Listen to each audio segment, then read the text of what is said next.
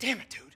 That private pool's awesome. They have attendants. Oh my God, Who, who's in attendance? How many people? Yeah, no, she didn't say anything. No, people that wait on them hand and foot. It doesn't oh matter. Oh my It God, there's waiters? Yes, yes, dude. Mexicans.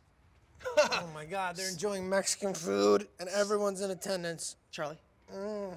since when do you have a cell phone? I buy them all the time now. You know, you prepay for it and then you buy it and you throw it away. It's like a there's a name for it. A burner? A burner. That's, that's a burner. Dude, drug dealers buy these. Really? This is a very specific subclass of low class, okay? This is like felon class, dude. Ah.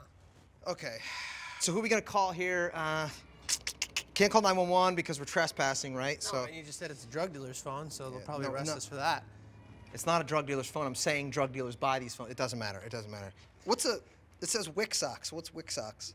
It's the waitress. That's the waitress, well, dude. but what happens is it does smart type and it tries to complete the word That for is, you. that probably so- is what it is. That is what it is. Okay, maybe we could call her.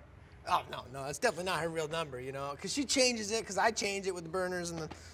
Oh, so that's why you get the Yeah, prepaid. yeah, you know, we got that dance going on. It. you know. Yeah, you know, even if we did call her, she'd probably involve the police almost immediately. Yeah, that's how those calls tend to go. You know, buddy, stalking somebody is probably the lowest class you can get. Well, there's a there's a certain dignity to it. there isn't. We'll get to that later. Uh, oh, I got an idea.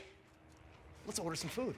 Oh! Yeah, and then we'll have the delivery guy come and he can help us out. Perfect, and we can get some Chinese food because that's the classiest poolside food you can have.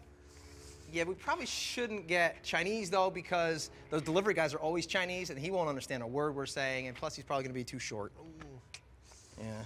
Could really go for some Chinese food though, man. That'd be good. Okay, you know what, dude? Let me handle it. All right, I'm gonna call. I'm gonna call pizza delivery. Pizza. We're gonna get some pizza. It'll be some big Italian lug, and he'll fish us out of here. Fish sounds good. Yeah, see if they have fish there I'll ask. and some Chinese flavoring on it because Okay. that's sort of what I'm in the mood for now.